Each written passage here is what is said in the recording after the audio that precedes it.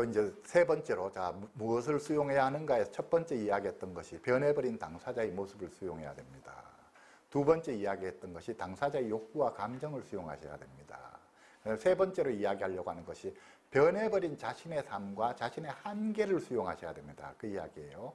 뭐냐면 결국 우리 가족분들의 삶이 바뀌어 버렸잖아요. 어떤 면에서 엉망진창이 되어버린 거잖아요. 옛날에 꿈꿨던 방식으로 못 산단 말이에요. 살던 방식으로 못 살고. 그 다음 또 우리 환자를 낫게 해주겠다고 나름대로는 애를 애를 쓰는데도 불구하고 뜻대로 안 되잖아요. 낫게 하는 게 뜻대로 안 되고 환자도 뜻대로 안 되고. 자, 이 뜻대로 안 된다는 걸 이제 인정을 해 주셔야 됩니다. 그 다음에 해주고 싶어도 더 이상 해줄 수 없는 그런 뭐 경제적으로도 안 되는 경우도 있고 시간적으로 안 되는 경우도 있고 여력이 안 되는 경우가 있죠. 자, 이걸 자기 자신에 대해서도 우리가 받아들여야 된다는 거예요. 그래서 내가 이래서는 안 돼가 아니라 그래, 그럴 수 있어. 괜찮아가 돼야 된다는 거예요. 예를 들어 부모가 자기 마음이 약해질 때, 뭐 눈물이 날라 할 때, 울면 안 돼. 이러시면 안 된다는 거예요. 울어도 괜찮아가 돼야 된다는 거예요. 또 포기하고 싶을 때, 쉬고 싶을 때, 때로는 그래, 때로는 포기할 수도 있고 쉴 수도 있죠. 괜찮아가 돼야 되는 거예요. 근데 이럴 때 걸림돌이 뭐냐 하면은 결국은 나라고 하는 누구나 나라고 하는 걸 가지고 살거든요. 나라고 하는 내가 생각하는 나라고 하는 나의 정체감, 나는 좋은 사람, 좋은 부모라고 하는 이 생각, 또 내가 내 힘으로 낫게 하겠다라고 하는 이런 마음들이 결국은 걸림돌이 됩니다. 걸림돌이 된다는 말은 이게 도전을 받는다는 거예요. 내가, 내가 나는 괜찮은 사람이라고 생각했는데 이게 도전을 받는다는 거예요. 이 애를 돌보는 과정에서 나는 좋은 부모라고 생각했는데 이게 도전을 받는다는 거예요. 내가 좋은 부모가 아니었나 보다. 이 마음이 든다는 거예요. 이렇게 이 마음에 도전을 받는 거죠. 그 다음에 또 하나의 걸림돌이 열등감인데 우리가 이 열등감이 흔히 보면은 겉으로 이 같은 말이에요. 우리가 우월감, 잘난 척하는 사람들. 잘난 척하는 사람들일수록 실제로는 열등감이 많기 때문에 잘난 척을 하는 거예요.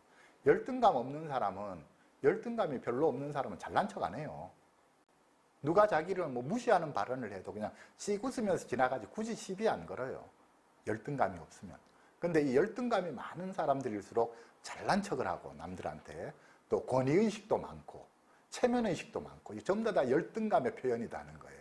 그래서 이게 사실은 걸림돌이 됩니다 하는데 이거를 이제 한마디로 보자면 서로 대비되는 거죠. 그래도 괜찮아 그럴 수는 있어 하는 것이 수용이라면 그러니까 자신의 못난 모습을 있는 그대로 받아들여 줄 수 있는 자 우리 안에는 잘난 내만 있는 게 아니라 못난 나도 있어요. 그게 원래는 당연한 거예요. 이게 음양이잖아요. 그런데 잘난 나만 나라고 인정하고 못난 나는 나가 아니라고 인정을 안 하려고 하게 되면 이게 문제가 되는 거예요. 그러니까 내가 장면이나 상황에 따라서 어떤 때는 내가 잘 행동할 때도 있지만 어떨 때는 잘못 행동할 때도 있고 부끄럽게 일을 엉망으로 만들어 버리는 경우도 있고 이렇게 잘할 때도 있고 잘못할 때도 있고 또 남들에 비해서 더 나은 점도 있고 부족한 점도 있고 이런 모든 것이 나라고 하는 것이죠. 나가 꼭 잘난 사람이 돼야 된다는 것을 고집하면 안 된다는 거예요. 자, 그래서 이런 못난 나가 맞닥뜨려질 때 그럴 때 항상 괜찮아 그럴 수도 있어 하면 되는데 이거를 아니야. 반드시 이러이러 해야지만 돼. 우리가 must 영어로 must 또는 should라고 하죠. 이래 이래야지만 돼. 라고 하는 이 당위가 많으면 이게 사람을 피곤하게 만든다는 거예요. 또 다른 말로 하면 이게 사회적 표준이고 이게 자신의 틀이죠. 틀이 강한 사람은 자, 자기 자신한테 이 틀을 적용하면 자기가 피곤해지는 거고 애한테 이 틀을 강요하면 애가 피곤해지는 거예요.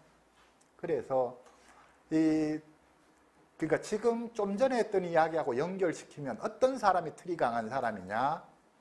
결국 잘난 내만 나라고 인정하는 이런 사람은 틀이 강한 사람이죠. 나에 대해서도 잘난 건 잘난 거대로 받아들일 수 있고 못난 건 못난 거대로 받아들일 수 있어야 되고 자식에 대해서도 잘난 건 잘난 거대로 받아들이고 못난 건 못난 거대로 받아들여야 되는 거예요.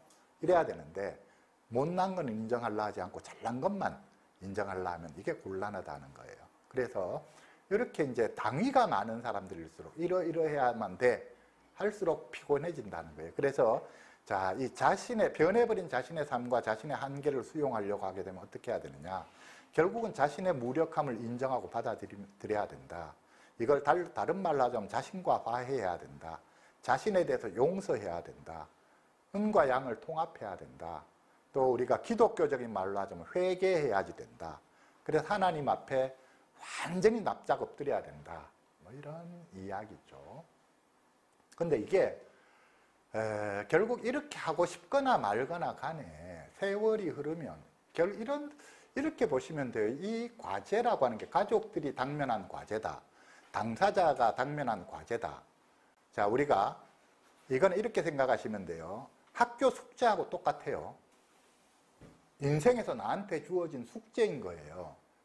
우리가 학교 숙제도 내가 숙제 다 하고 나면 해방되잖아요.